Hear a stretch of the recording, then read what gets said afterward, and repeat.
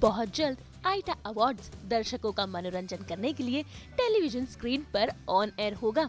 ऐसे में फ़िलहाल तो दर्शक इसके डांस प्रैक्टिस में जुटे हुए हैं और आज धीरज धूपर और मायरा शर्मा भी स्पॉट किए गए। इसके साथ उन्होंने की खास बातचीत भी, बताया अपने प्रैक्टिस सेशन के बारे में और उनके अपकमिंग प्रोजेक्ट्स के बारे में भी।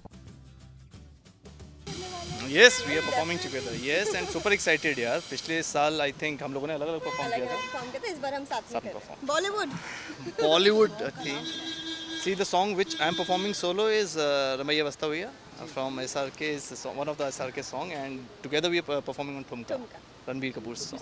तैयारी हो चुकी है बहुत ज़ोर से तैयारी हो रही है और now I think we are done अब हम सीधा परफॉर्म करेंगे और वो आप लोगों को देखना. अपकमिंग उनका चल रहा है एंड मेरा अभी it's टटलूबाज आ चुकी।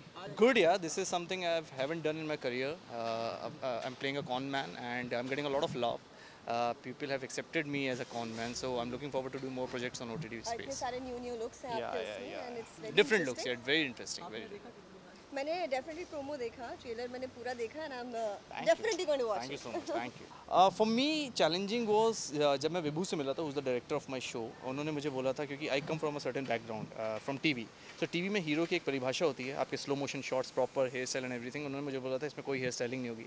एंड जो लोग मुझे जानते हैं वो जानते हैं I am so particular about my my hair and everything. So मुझे वो बोला गया था कि आप हेयर स्टाइलिंग नहीं होगी, मिनिमल मेकअप होगा. So that was a challenge for me to come out of my comfort zone as an actor and I did it. मैं बिग बॉस कब किया मैंने? मैंने कब किया? मैंने कब किया? मैंने कब किया? कौन है? यार I am not following it much but मुझे लगता है Ankita is strong Munawar is playing good I think these two are the main contenders Vicky is also doing great I think he is playing well. Yeah all of this yeah thank you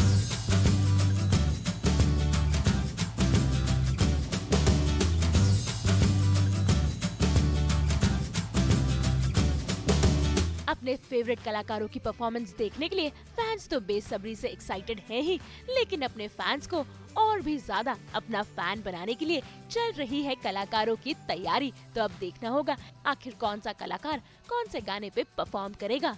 Mumbai से bureau report.